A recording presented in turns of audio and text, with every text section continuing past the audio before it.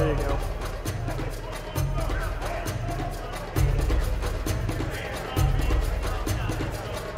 This isn't creepy at all.